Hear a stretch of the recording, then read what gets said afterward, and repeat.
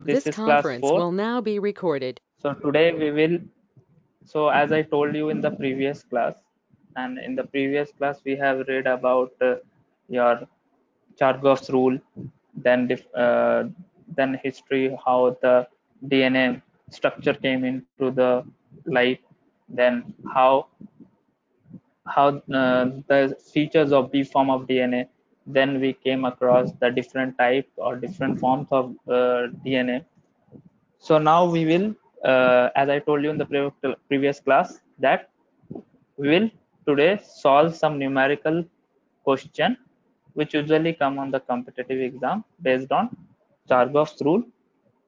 Then we will know uh, the three important experiment which tells how dna considered to be the genetic material because during 1920s uh, there was controversy that which is the genetic material. They know they call ge- they, they know that gene is responsible for uh, transforming or uh, expressing uh, expressing the phenotype. They they know that but the gene where it is present it was the controversy. It was present in dna or rna or protein or lipid it was a confusion or it was a controversial thing on that time around 1930 but these three experiments told that no it's not a rna it's not a protein it's a dna which is which which has genes in which genes reside and that is the genetic material.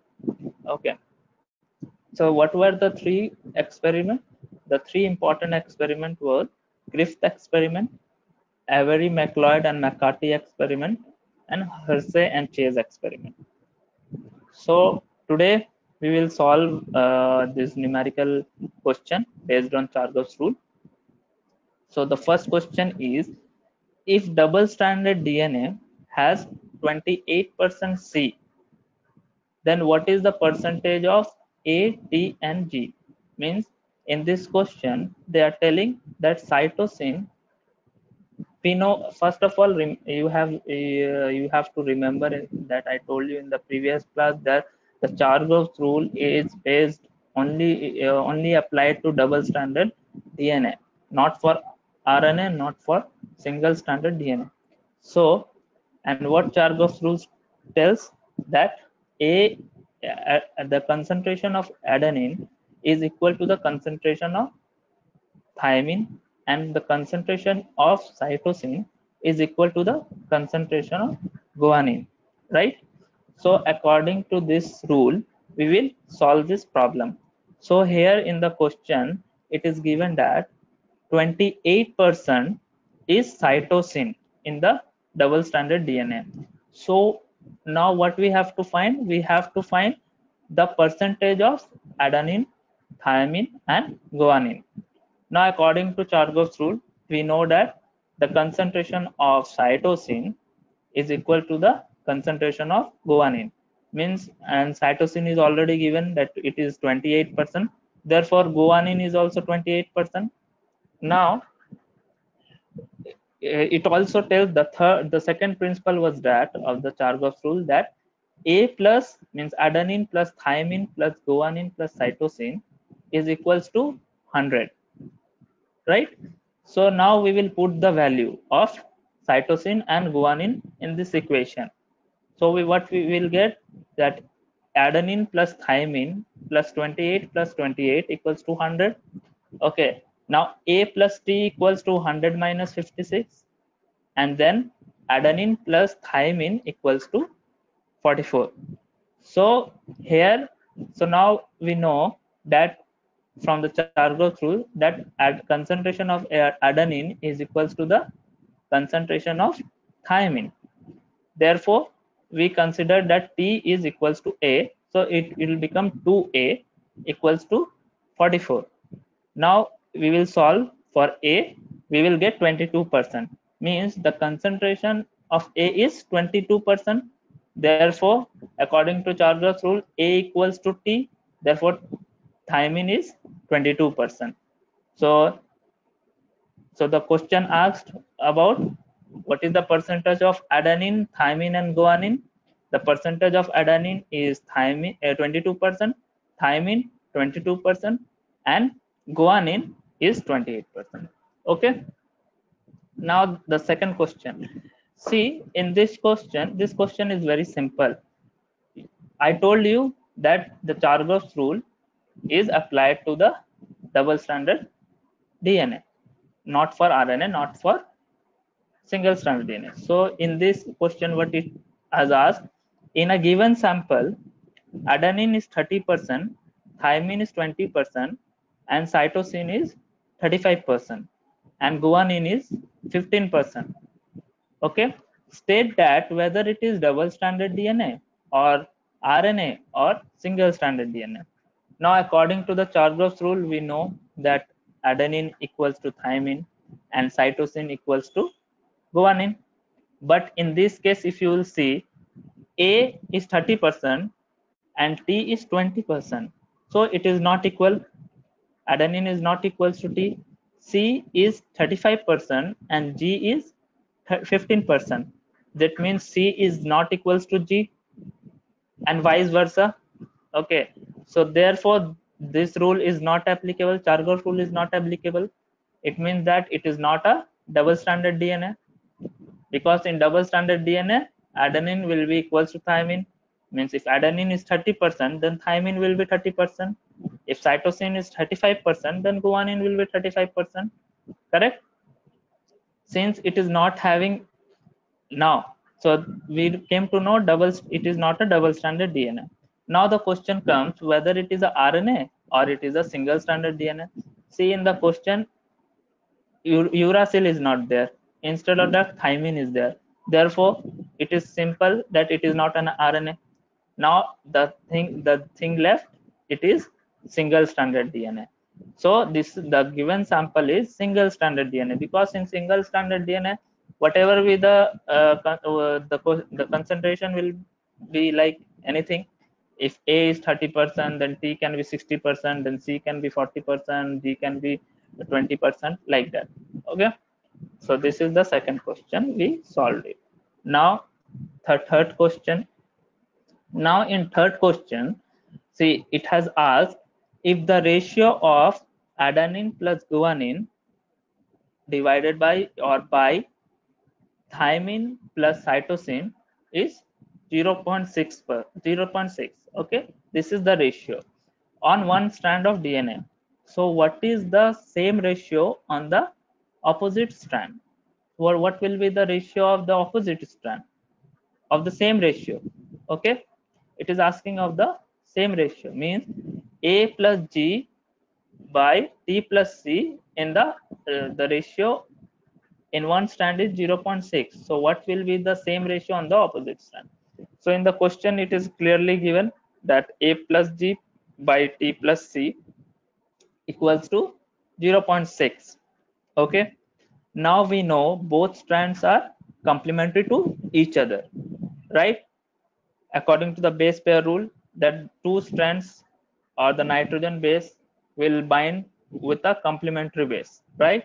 So that means a if a plus g in it is in up, up so if a is a will be complementary to t and g will be complementary to c. So t plus c by t will be complementary with a and c will be complementary with g by a plus g. Okay. Now in the question it has asked the same ratio on the opposite strand so there is simple trick. You don't have to uh, apply anything. Just reverse the sequence or just reverse the thing. Flip the above ratio. Means the t t plus c will be in the up and a plus b will be the will be in the down and 0.6 will become 1 by 0.6 so the ratio what we will get after solving we will get 1.667 so uh, the same ratio on the opposite strand of the DNA is 1.667. Okay. Now, in the fourth question see the, this question is little tricky but it uh, most of the uh, most of competitive exam like gate and jnu uh, even in csir uh, dbt usually ask such type of question. Okay. So so please uh, follow this how it is getting solved. Okay. The last two questions are very important. This four and five fifth one. Okay. So in a two kilo base pair long double stranded dna okay the, the this is double stranded dna how much long it is? It is two kilo base pair. Okay which consists of this two kilo base pair long double stranded dna consists of 900 bases of thymine. Then it is asking that how many number of guanine will be present on this double stranded dna so what we have to do first we have to find out the base pair of this double stranded dna so 2 kilo base pair means 2 into 1000 base pair means 2000 base pair. So that this double stranded dna consists of 2000 base pair. Base pair means what? Base one base is bind to the other base. Okay one nitrogen base is bound to the another nitrogen base. That is called base pair so now we have to convert into bases means single single single single nitrogen base or single single nucleotide. So 200 2000 base pair is there. So 2000 into 2 we will get 4 4000 bases which is present in both the strand of the dna okay? Means 2 kilo base pair long double stranded dna has total number of 4000 bases now according to chargaff's rule we know that concentration of a is equals to concentration of t. Then a equals to t equals to 900 because we we in the question it is given that uh, thymine bases uh, 900 thymine bases are present in this 2 kilobase per long double stranded dna so a is also 900 now we will put this the now we'll put the value a a value 900 and t value 900 to get g plus c. Then and the total number of uh, bases in this double stranded dna is 4000 so this is the total number of bases. So a plus t plus g plus c equals to 4000 now putting the value of adenine and thymine to this equation we will get g plus c equals to 2200 right? Now see now we know uh, that chargaff rules also tell that the percent uh, the concentration of guanine is equal to the concentration of cytosine. So therefore again we will consider cytosine as g. So 2g equals to 2200 therefore g equals to 1100 so in the question it has asked that find the number of guanine bases Therefore, the number of guanine bases in 2 kilo base pair double stranded DNA is 1100. If the question asks uh, find the number of cytosine, then obviously the the it, it will be the equal number of guanine. If guanine is 1100, that means cytosine will also be 1100. Okay, so I think you people have understood now the fifth question this is the most important question okay? See in this question it has asked it is the it is of the dna is of b form of dna and it is 6.8 nanometer long okay? And amount of adenine is 40 percent.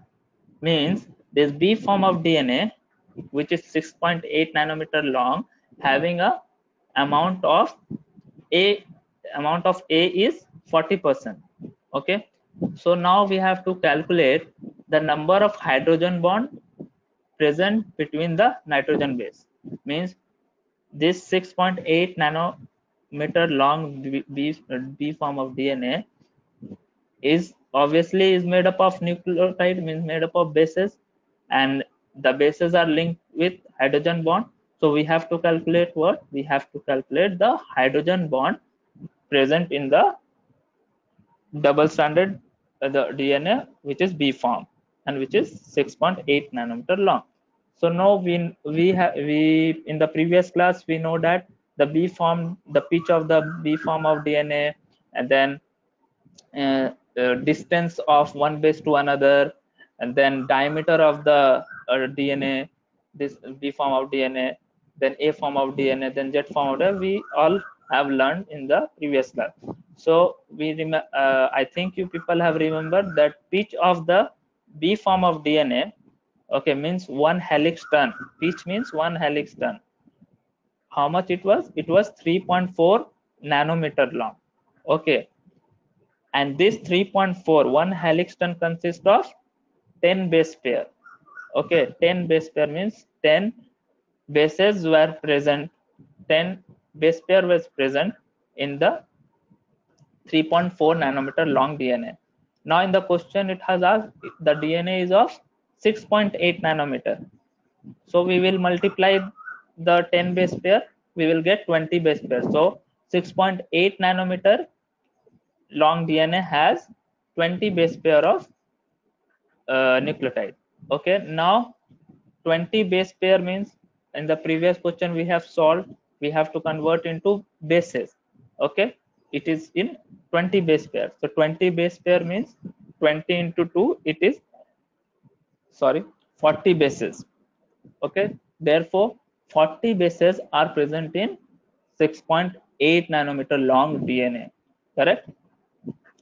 The total number of bases we got okay? It is 40 bases.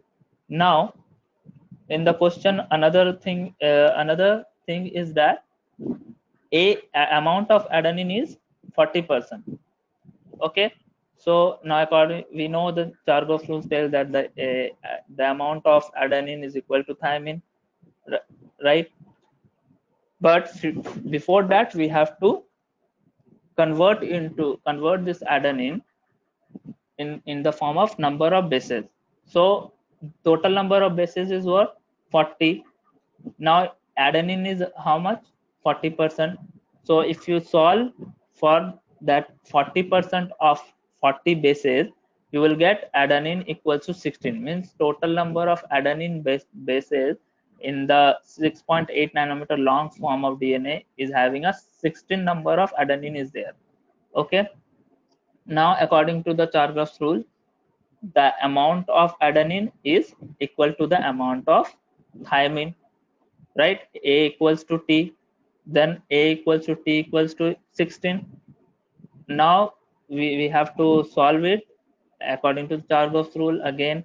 A plus t plus g plus c equals to number total number of bases. The total number of bases is 40 now six uh, the value of a we know 16 the value of t we know 16 so we will solve for gc the gc comes 8 g plus c equals to 8 after solving now the same rule applied again that concentration of G is equal to the concentration of cytosine.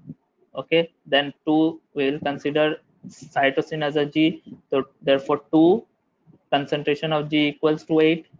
So we will get how much? The concentration of G equals to 4 and the concentration of C equals to 4 because it is equal.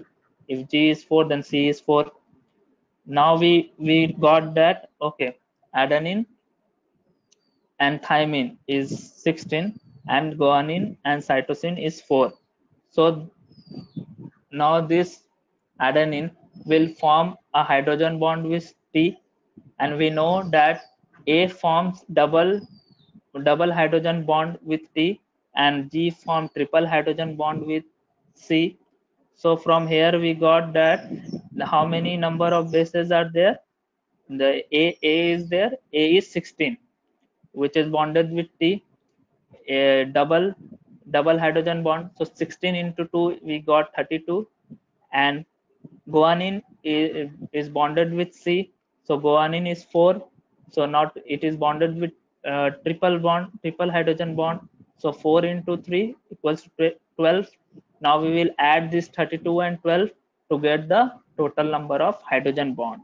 So therefore the total number of hydrogen bond is 44 so these were the five question which most probably comes in the competitive exam so you after i think this biosetup team will upload this video. You can uh, go through this video again by downloading from the youtube channel. Okay. So now we will proceed for the next part. That is that that is how dna is considered to be the genetic material. Okay. So the in the figure you see uh, Griffith experiment was Griffith experiment was performed to know that it was the foundation for the identification of DNA as the genetic material in 1928. But the controversy eh, started around 1920s that that the genes are present in what DNA, RNA, or protein. The, and and and what to be considered as the genetic material. Okay, this was the main questions or uh, main doubt of that time that the genes are present in the DNA or RNA or protein if if it is considered and which is to be considered as a genetic material to solve this question scientists from all over the world started experimenting and the three experiment i told you and they came up with the three important experiment which shows that rna not an rna not a protein dna is the main principle or you can say physical carrier of inheritance in which gene reside and it is considered to be the genetic material. Now we will go through one by one these three uh, important experiment okay the first experiment was done by frederick griffith. Griffith and it is uh, commonly known as griffith experiment. Okay and he laid the foundation for the identification of dna as a genetic material in 1928 with uh, how uh, they, he he has uh, performed an experiment which is called as transformation experiment in which they he took bacterium known bacteria known as streptococcus pneumonia okay. Now this wild type uh, bacteria has a mucus coat called a capsule. Okay. And it forms a smooth layer. Okay. So this this smooth layer which which has a, a mucus coat called a capsule gave this gave this pneumonia this streptococcus pneumonia a virulent feature which is lethal and infectious. If uh, when he injected into mice okay the mice died because it is lethal but it has one more strain which is called as rough strain okay in which it does that smooth coat mucus coat was not there. The capsule was not there. It was it has no protective coat. Okay. So it was avirulent because and it, it is avirulent because it has not it, it is not having a protective coat. So if it if it given to the mouse the white blood white blood cells of the mouse engulfs this rough strains and does not and kills it and kills the bacteria and therefore it does not allow to damage the health of the mice. Okay therefore it they, he took two strains. Okay you can see in the figure a. Okay this is the smooth strain which is having a capsule. He injected into the mice and the mice died. Okay now what he did in the figure b you see he injected the rough strain which is not capsulated. Okay? It is called and these are live live uh, are live strain. He injected into the mice. The mice survived. Okay? Now what he did he he killed the smooth strain. Okay? As strain he heat killed it and he injected into the mice. He find that that the the mice having no effect. Okay means the mice doesn't died. But when he mix this heat killed strain and with live r strain then when he is injecting into the mice then he found that the mice died. And it has now both live and r strains so so uh, on that to uh, so they what they found that the, that the heat kill strain has not has not affected okay? When heat is heat kill strain is injected into the mice alone there is no effect. But when it is mixed together with live strain and heat kill strain it is killing the mice which means that somehow this virulent trait has passed from the dead cells to the live cells. Okay means see heat killed strain is dead but live r strains are live.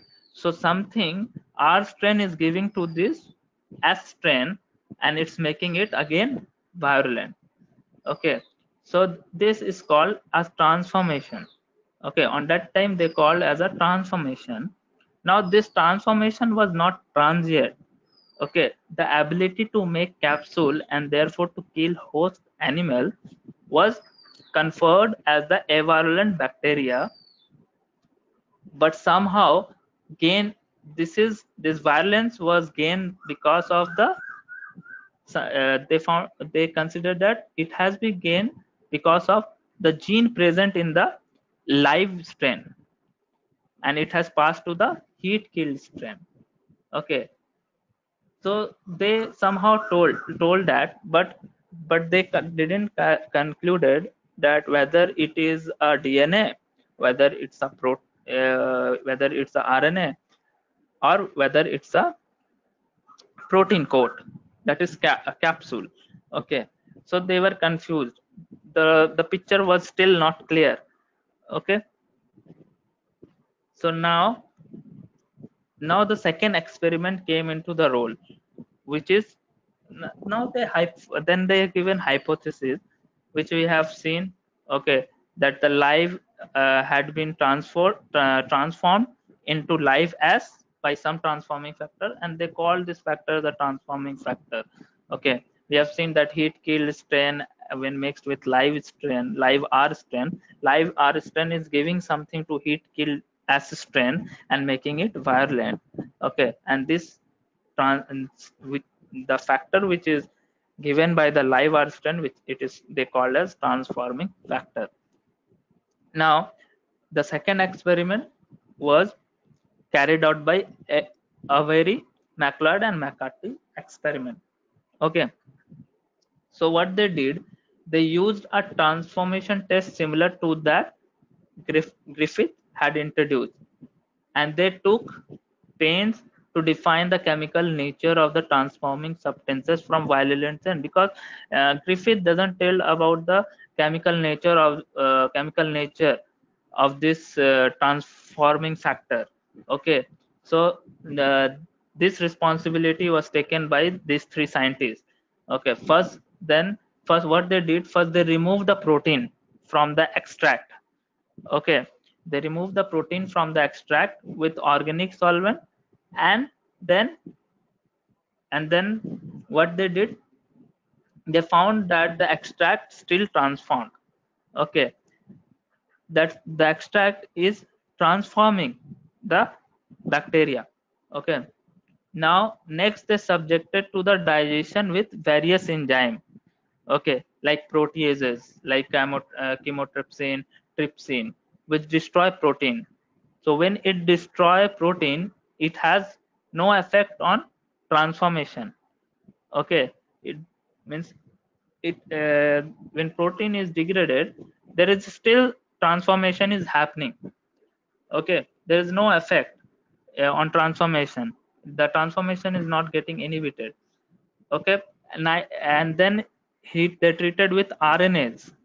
So RNA is degraded, still DNA is there. So there was again transformation was happening even even after the treatment of RNase. Okay, now now they have what they did. They have treated the cells and the DNA extract with DNase. So now DNA is destroyed. So now there is no transformation. Okay, DNA when DNA has been destroyed by the DNase, there is no transformation. They found that there is no transformation.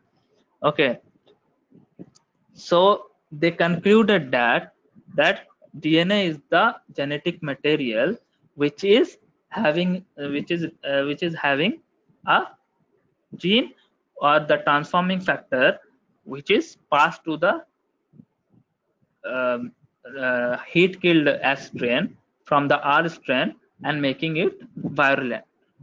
Okay, this result suggested that the transforming substance was DNA but still uh, the science uh, but still the people mean scientists on that time doesn't believe uh, because still they find that uh, no maybe the protein is also playing some role in the transformation. Because they can't able to separate the protein completely from the dna on that time okay? The purification was not so much effective as as we have today. So so now uh, the uh, another the the final experiment which completely given the picture no dna is only the genetic material no, not a protein okay? So uh, and this was conducted by Hershey and Chase and it is called as Chase experiment. Okay. And from this uh, mm, in most of the competitive exam asks question from this usually this radio level uh, experiment. Okay. So uh, what what they did excuse me. So uh, what they did they radio act they radioactive they have la they labeled the dna and protein separately with radioactive element. Okay? They what they did they label p32 means phosphorus 32 for they use radioactive label phosphorus means p32 for dna and sulfur 35 for protein. Okay? Now these choices make sense considering that dna is rich in phosphorus because we know that dna has a sugar phosphate backbone so obviously this phosphate obviously it will require for the development of dna so if radio label phosphate is getting attached to the dna obviously it will flourish. Okay uh, it will give phosphorescence uh, when once it entered into the uh, if dna is participating in the transformation okay. So and uh, and phage protein was uh, protein was radio labeled with sulfur. Because sulfur we know protein has uh, protein requires a, a sulfur group to form sulf uh, disulfide bond. Okay. So they have to uh, according to this principle they have chosen this two radio uh, radioactive element. Okay. Now Hershey and Chase allow the label phages to attach to the bacteria and inject their genes into their host. Okay? Then they remove the empty phage coats by mixing vigorously in in a blender. On that time they were using blender to separate these phages okay? And then what they what they did now because they knew that genes must be into the must go into the cell. Okay? If it is transforming the, then the phage obviously it will enters the gene into the cell okay? But the question comes what went into the uh, what went inside the cell okay? Whether it's a it's a p32 label dna or it's a s label protein. So so they have uh, done this experiment and uh, then and they found that and they found that see in you can see in the figure that this this is the protein coat. Okay. This protein coat is labeled with the 30 uh, sulfur 30, 35 radioactive element. See when it uh, now at this at when this phage is getting attached with the bacteria okay then this protein this protein coat part is outside the cell and it's injecting its dna inside the bacteria right? Now once is uh, not this phage coat has been removed obviously it will get removed and then the dna is been incorporated inside the uh, bacteria. Okay this is called as extragenous dna but see there is no transformation is happening because there is the dna is not radio labeled okay but in the second figure if you will see dna is labeled with p32 okay now phage infected the bacteria. It in uh, it send its dna which is radio radio labeled and then it is it is entered into the bacterial cell and this bacterial cell is getting transformed in this in in the figure a also it's getting transformed. But what in the figure a we didn't found that we found in the figure a we found that the protein is not responsible for the uh, transformation. But uh, the clear picture when it uh, the clear picture we get from the figure b uh, that is figure uh, figure b in which the radio labeled p32 dna is incorporated inside the bacterial cell and it get transformed. And we find that that dna is only the responsible for this transformation and uh, and of and of course this transformation is happening because of the gene which they call as a transforming factor. The gene is responsible to transform this bacteria uh, in bacteria and making it virulent. Okay so so this experiment these are the experiment which is demonstrated that which is demonstrated that dna that dna is the genetic material and not the protein or not the rna okay which is making transformation to this bacteria. And uh, then and finally Hershey and uh, Hershey and Chase shared the Nobel Prize in 1969 for physiology and medicine for his discoveries. Again uh, concerning the he by concerning about the genetic structure of viruses. Okay so this is for today. Uh, thank you all for listening thoroughly to this class. If you have any question you can ask me now okay sir thank you for this informative session now I would like to request students, if they have any questions, please come and ask. Students, please come and ask your questions. I request everyone to ask. Amit, now you can uh, remove sir as a presenter.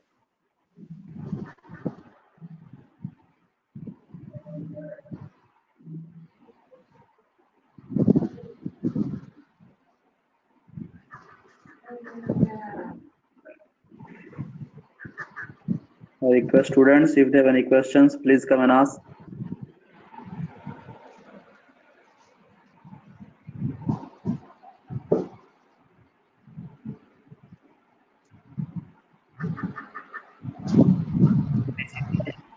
Sir, can we get some questions so that numericals will be clear to us?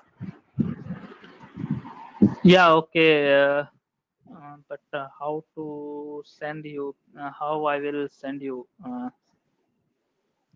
if you have Okay, any I'm kind of pdf any kind of uh, okay book so i will i will make ah yeah i will make this uh, pdf file okay pdf of uh, this chargaff rule based question okay and i will add add more numericals to that you people can try okay and so what i will do i will give the pdf file to this biosetup team and this bio setup team will upload uh, in their group or or they will send you separately whatever they feel for Okay, sir. feel Okay, good okay. for okay Okay, sir.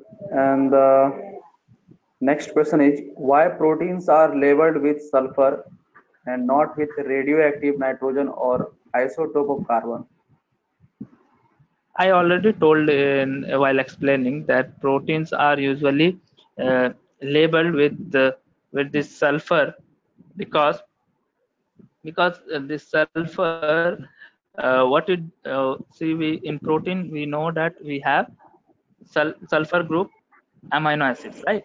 These amino acids this this sulfur group is present in where? It is present in it is present in your hello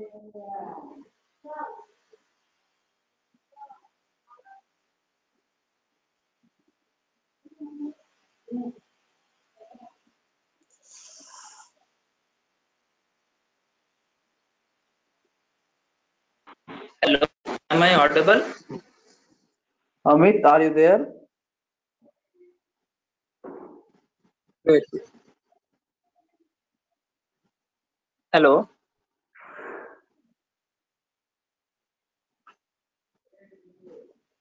Amit, are you there?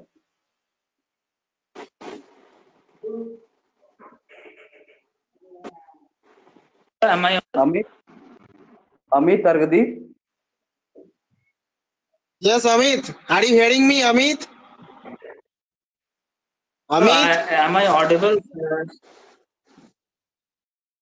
Amit, are you hearing me?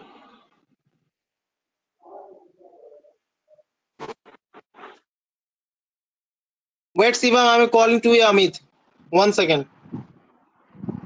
hello Yes, sir, you're audible now.